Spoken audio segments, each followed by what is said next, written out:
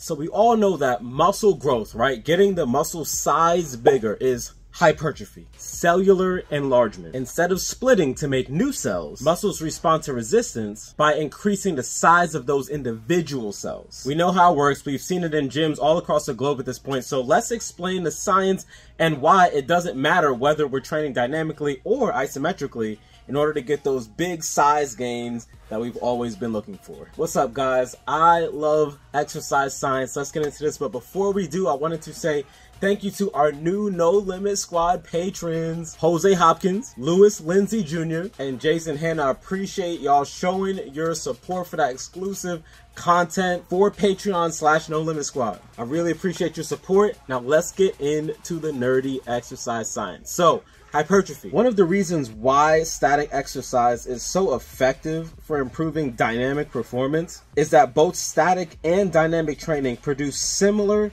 hypertrophic effects. See, it doesn't really matter the biology. What we can do with relative certainty is make sure that we have the scientific evidence to show that we can get bigger with static exercise. And honestly, one of the more obvious examples before we get into it are just seeing ballerinas and ice skaters and their calf musculature and how defined, sometimes big, how defined they are. All right, so let's talk about heavy loading. Usually expressed as a person's maximal strength or single rep aka 1RM, which everybody knows is 1 rep max, um, is usually recommended as the best way to really maximize the muscle hypertrophy stimulus with resistance training. But there's little evidence to support this statement because it's really unclear as to how exactly these heavier training loads would provide that signal for greater muscle hypertrophy compared to lifting lighter weights till failure. Because honestly, both conditions would result in a large amount of muscle fibers being recruited anyway because we're taking the muscle to failure.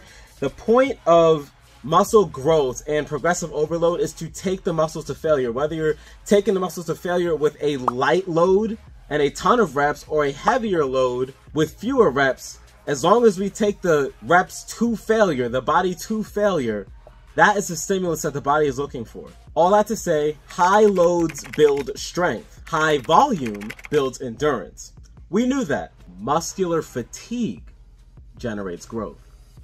Of course, there's some overlap as well, but the principle stands. There was a study in the Journal of Applied Physiology where subjects were instructed to train to deep fatigue, aka muscle failure, using either 90% or 30% of their maximum training load. When the participants in that study were scanned with MRI scans and advanced histochemical testing, it was discovered that both training sessions produced similar levels of growth as long as the training was taken to failure. There's that word again. The conclusion muscle fatigue triggers hypertrophy, not load or volume. Muscle fatigue. Did we lift until there's just nothing left in the tank?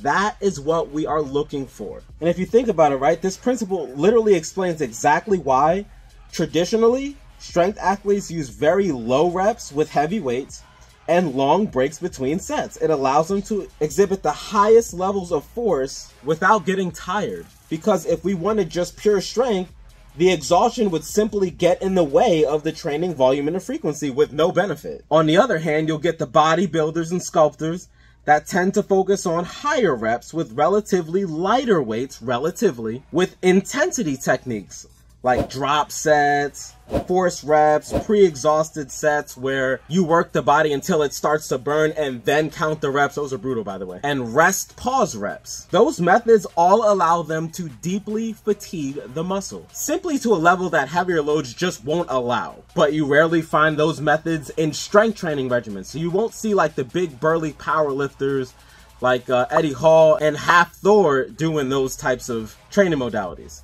because they're training for strength. And honestly, this makes sense to pretty much anyone who has spent some amount of time in the training world because we all kind of know intrinsically that athletes train by lifting huge loads and remain relatively small. Think about Olympic lifters, right? They're able to move a lot of weight, but they're not huge power lifters. It's because of the way they train. Meanwhile, others can get away with lifting lighter loads and grow much larger muscles. Bodybuilders, I'm talking to you. I'm talking to, to me, you.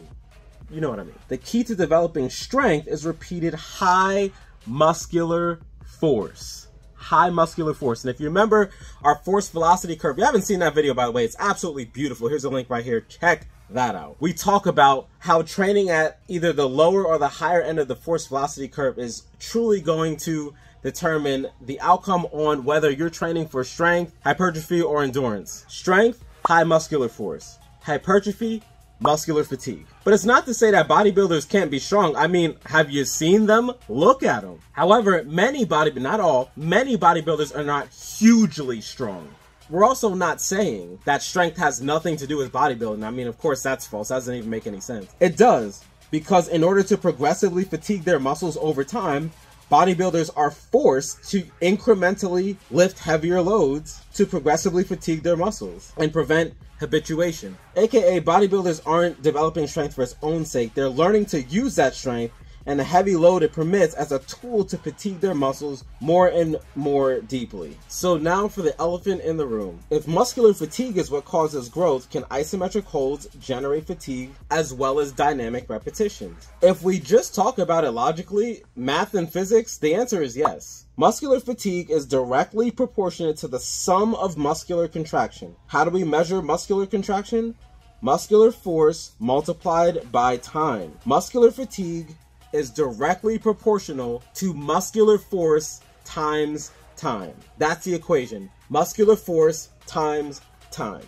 So, are we hitting the fatigue that we need in order to grow our muscles, like increase the size? Yes. Fatigue can be defined by the amount of force our muscles can generate in a given period of time. More force in the same length of time results in more fatigue. This is sometimes known in hypertrophy science as TUT, Time under tension, my favorite stuff. And having the right time under tension leads to greater muscle fiber recruitment and growth. But what are your thoughts? Did you know about this before? Go ahead and comment down below. Thanks for watching. If you liked the video, be sure to drop a like, go ahead and comment, and we will see you in the next video.